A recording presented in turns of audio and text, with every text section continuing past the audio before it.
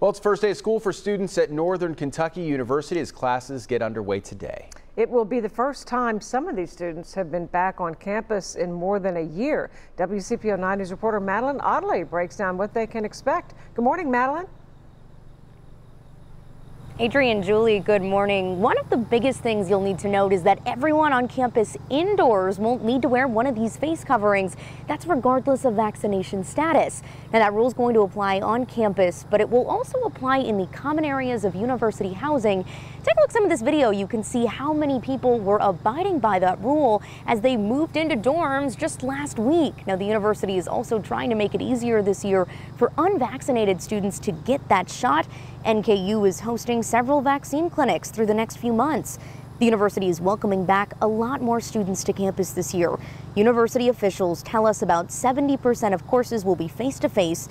Last year, just about 40% had that in-person component.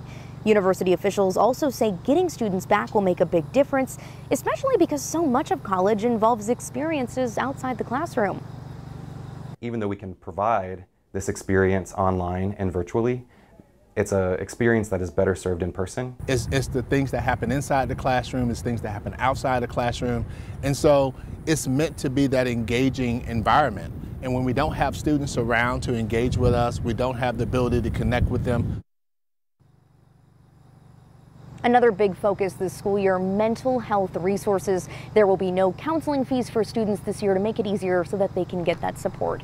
Reporting live at Northern Kentucky University, Madeline Ottilie, WCPO 9 News.